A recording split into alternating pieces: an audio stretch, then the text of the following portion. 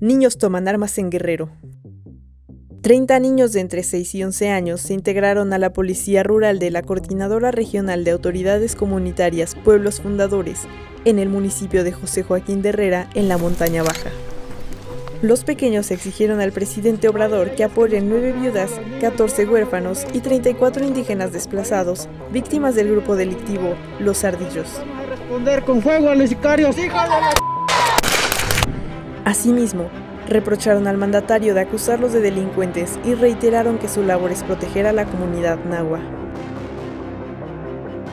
La decisión de integrar a niños como guardias de su comunidad ocurrió luego del asesinato de 10 músicos indígenas en la comunidad de Chilapa.